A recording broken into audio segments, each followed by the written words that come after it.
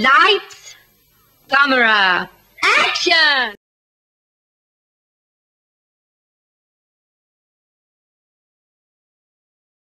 Think I may have a meeting today.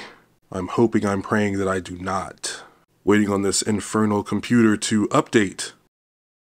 This is only slightly annoying because last night, at the end of the workday, I turned off, my, well, I restarted my computer so that it could update then. But I guess additional updates take place uh, once you reboot it next time you cut it on. So, anyway, as I said, I hope we don't have a meeting today. Ah, here we go.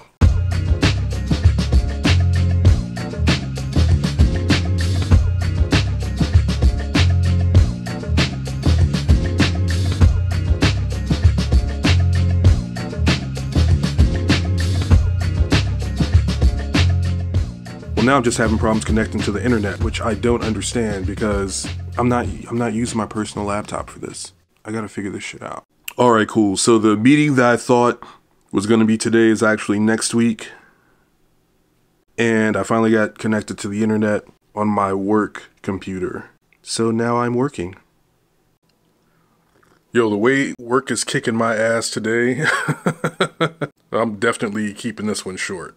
So I really just want to talk about my definition of success as a screenwriter in the film industry, whatever. Of course, I would love to be up there with like the Jordan Peeles, the Aaron Sorkins, the Quentin Tarantinos, all of these talented screenwriters and filmmakers, you know, who have all the clout in the world.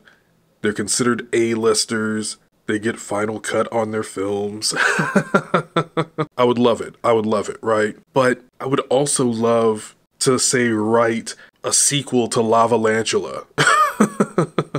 to to write the next uh, Sharknado, to work for the Asylum. That'd be that'd be insane.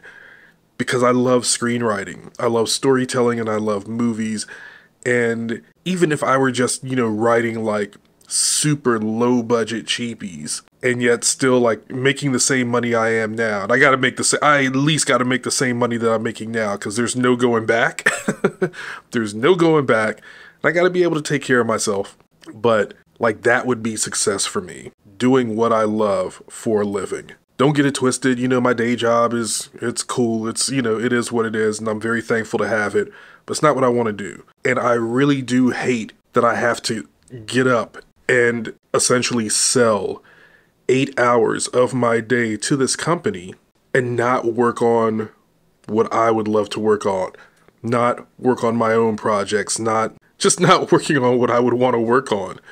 It's like a third of my life, presently, a third of my life, I'm selling to someone else so that they can live out their dreams, achieve, so that they can feel successful. You know, I'm saying this out loud. I'm saying this to y'all, whoever's watching. And I'm saying this to the universe because I do believe that the universe listens. And uh, I- I've said it before, right? Words are spells. And so I'm just saying this out loud like, I want to write movies for a living. That's what I want to do with my life as soon as I can. You know, I think about that Billy Crystal line in When Harry Met Sally just to kind of appropriate that. When you know what you want to do for the rest of your life, you want the rest of your life to begin as soon as possible. It's like, I am ready. That's another thing people say. Be careful. Be careful what you wish for because you just might get it. and when you get it, you better be ready. I'm ready. I'm ready. I'm ready. So, all right. That was quick, short. Let me get back to work.